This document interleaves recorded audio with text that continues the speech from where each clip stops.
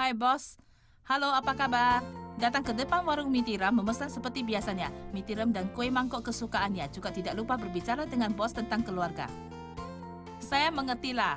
Bicara sedikit-sedikit. Anda ingin perkenalkan perempuan Taiwan padaku? Bukanlah, gadis Taiwan. Ah, gadis Taiwan. Perempuan adalah wanita tua. Cheng Kai Zhong kampung halamannya di Malaysia. 13 tahun sekolah di Hong Kong. 24 tahun datang ke Taiwan mengembangkan dunia selebritis. Dari peragawan main drama sampai artis tamu berbau sepenuhnya dengan kehidupan Taiwan. Saya datang dari Hong Kong, lalu saya juga suka lingkungan dan makanan ringan di sini. Taiwan memiliki sentuhan kemanusiaan pada sesuatu yang berat. Jatuh cinta pada sentuhan kemanusiaan Taiwan. Cheng Kai Zhong telah lama di Taiwan, beri rumah dan menetap. Sejak mempunyai ide ini, saya ingin menetap lama di sini. Dengan begitu sebaiknya sendiri yang mengkredit. Baru-baru ini, Cheng Kai Zhong mulai ke kelompok teater Lang Chuwin buka kelas akting, berupaya untuk menjadi seorang pemain drama yang bagus.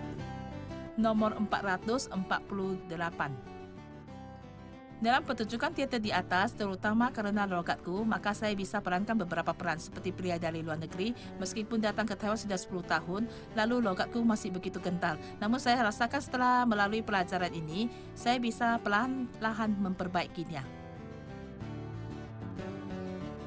Salah satu kebiasaan akan Taiwan adalah sembahyang di kuil.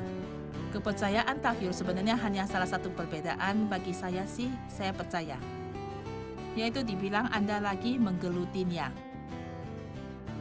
Suka makan makanan ringan Taiwan berbau dengan agama dan budaya Taiwan, Cheng Hai Zhong telah jatuh cinta tanah ini.